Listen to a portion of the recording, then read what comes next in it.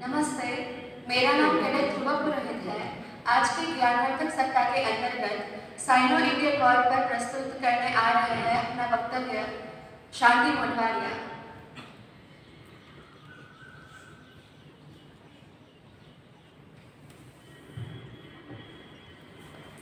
हर गली, हर मोहल्ले में, हर गली, हर मोहल्ले में मेरे वतन के दीवाने बेशुमार बैठे हैं। हर नौजवान के सीने में किरदार बैठे हैं, देशभक्ति वाले किरदार बैठे हैं। जान चली जाएगी, पर इस वतन की शान में कोई आँच नहीं आएगी। जान चली जाएगी, लेकिन इस वतन की शान में कोई आँच नहीं आएगी। लाखों शहीद हुए, लेकिन करोड़ तैयार बैठे। नमस्ते। बृहद गुरुकुल परिवार को मेरा सत सत I'm Cadet Shanti Motvariya. I will talk about Sino Indian Group.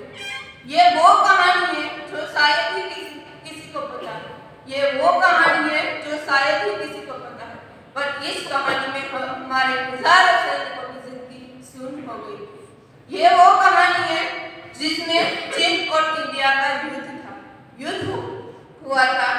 इसमें भारत और चीन के बीच कई विवाद थे। इस विवाद का कारण था हिमालय की सीमा।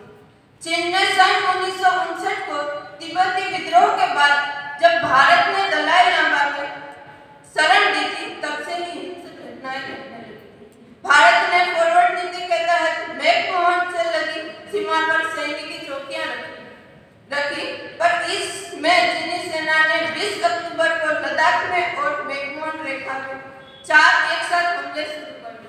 और इसमें चीनी सेना भारतीय बलों पर भारी पड़ गई। और तो देखते ही देखते तकरीबन 35 घंटों में ही उन्होंने हमारे अरुणाचल के आधे से भी ज़्यादा हिस्से पर अपना कब्जा कर लिया था। फिर जब और में तबांग पर कब्जा कर लिया, फिर चीन चीन ने 20 नवंबर को युद्ध विराम की घोषणा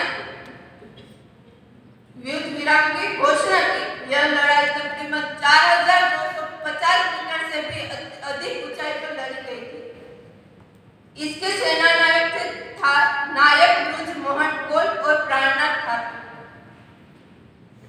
इस युद्ध में हमारे एक हज़ार तीन सौ से भी ज़्यादा सैनिक शहीद हो गए। एक हज़ार से ज़्यादा घायल हो गए थे। एक हज़ार छह सौ लापता हो गए।